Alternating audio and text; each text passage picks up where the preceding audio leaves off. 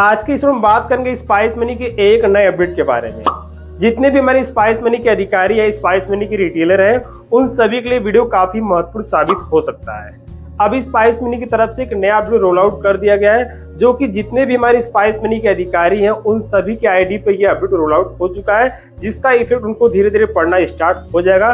जिसकी जानकारी मैं आपको इस वीडियो के माध्यम से डिटेल में शेयर करने वाला हूँ। तो दोस्तों वीडियो को पूरा देखकर वीडियो स्किप नहीं करना। यदि आप वीडियो को स्किप कर देते हैं तो आपसे जानकारी मिस हो जानी है और आगे चल के आपको इन सभी समस्याओं का सामना करना पड़ सकता है। अभी हाल फ़िलहाल में स्पाइस ने एक नया अपडेट लाया हुआ है, जिसमें काफ़ी रिटेलर्स का इफ़ेक्ट पड़ना स्टार्ट हो चुका है और बहुत लोग को इसका अभी तक इफ़ेक्ट नहीं पड़ा हुआ है। तो आगे चल के उनको भी इसका इफ़ेक्ट पड़ने वाला है।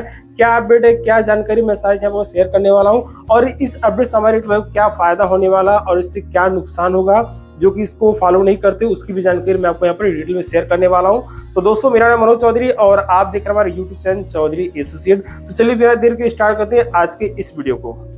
तो दोस्तों, अभी जो स्पाइस मिल की तरफ़ से एक नया अपडेट निकल कर आ रहा है, वो यह कहता है कि we have implement a mobile device blending process for AEPS तो इसको हम बिल्कुल सिंपल सी भाषा में जानने वाले कि क्या प्रोसेस है, कैसे हमारे सभी स्पाइस मिनी अधिकारी भाइयों के ऊपर ये अप्लाई होने वाला है। तो दोस्तों, अभी स्पाइस मिनी यह कहता है कि जितने भी हमारे स्पाइस मिनी के रिटेलर हैं, अभी तक यानी कि प्रेजेंट टाइम में जो भी वो मोबाइल डिवाइस या जो भी फ़ोन डिवाइस इस्तेमाल कर पा रहे हैं, वो बिल्कुल भी आगे चल के फ्यूचर में आसानी से इस्तेमाल कर पाएँगे।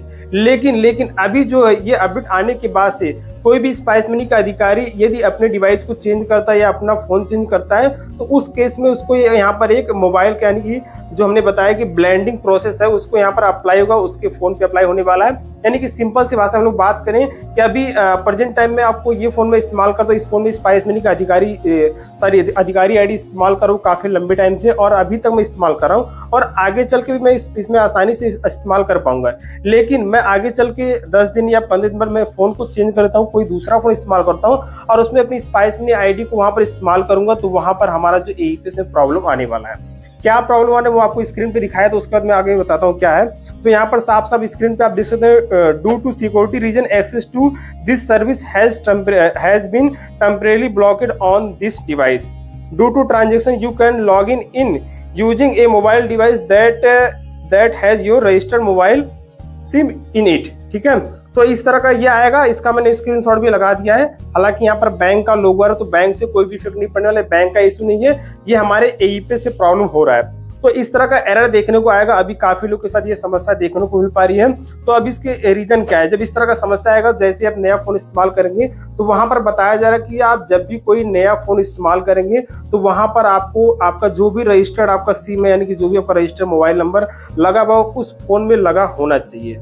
एग्ज़ाम्पल बात कर लेते हैं कि अभी प्रेजेंट टाइम में हमारे ये फ़ोन है और दूसरे टाइम में हम दूसरा फ़ोन को इस्तेमाल करते हैं। दूसरे फ़ोन में अपना एईपीएस लॉग इन करते हैं तो वहाँ पर हमारा ये वाला सिम उस फ़ोन में लगा होना चाहिए, जो कि ऑटो वेरीफाई होगा यानी कि जो जिस तरह हम लोग डिवाइस में लॉग इन करते हैं, हमारा ऑटो ओटीपी रीड कर ले, उसी तरह वहाँ पर हमारे दूसरे फ़ोन में ऑटोमेटिक हमारा ओटीपी रीड कर लेगा। रीड करने के बाद अब दोबारा से उसको सिम को निकाल सकते कोई दिक्कत यहाँ पर नहीं पड़ने वाला है।